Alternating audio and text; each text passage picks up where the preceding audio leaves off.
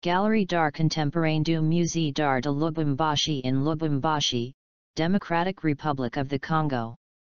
The Galerie d'Art Contemporain Dialogues is a center for exhibitions, concerts, projections, and conferences located in the National Museum of Lubumbashi.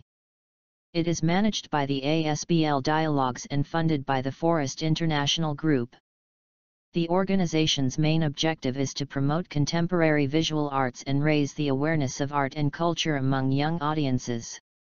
The origins of ASBL dialogues date back to 1998 when George Arthur Forrest met with art historian Chantal Tombu. In 1999, a first exhibition, Memory of Time, is held at Lubumbashi's Horse Club. A second exhibition will be held at the City Museum of Lubumbashi, to present the works of Lubumbashi artists. Today, ASBL Dialogue seeks to promote the cultural richness and immense potential of artists in the city and to raise public awareness of Congolese and African cultural roots. Like us and join us at Xtreme Collections for more fun and knowledge.